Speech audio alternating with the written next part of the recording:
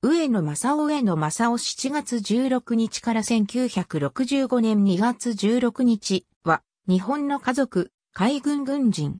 爵位は、伯爵、最終階級は、海軍少将。旧姓は長田。東京府出身。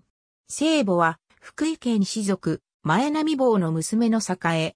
北白川宮義久親王の第六男であると判明したため、1897年7月1日、伯爵を授けられ、家族に列した。1912年7月17日、海軍兵学校を卒業。翌年12月、海軍少尉任官し、今後乗組となる。1918年12月から1年間、海軍水雷学校高等科で学んだ。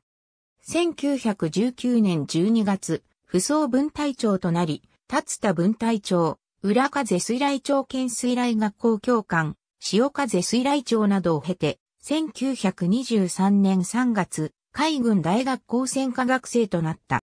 1925年4月、阿蘇分隊長となり、同年12月、海軍少佐に昇進し、早くじら水雷長に就任。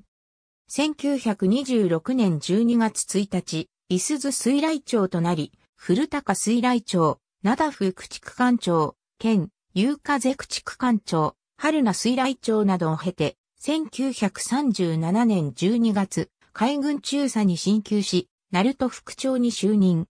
1933年11月、多摩副長となり、基礎副長、津島艦長、第四駆逐隊司令、佐賀艦長などを歴任し、1938年11月、海軍大佐に進級。同年12月、北上艦長に就任し、鎮海洋後部軍需部長を経て、1941年4月、鎮海軍需部長となり太平洋戦争を迎えた。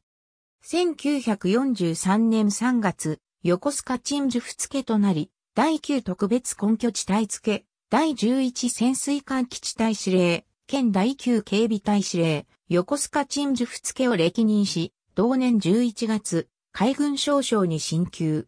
同月、軍令部出資となり、翌月、大名、予備役編入となった。ありがとうございます。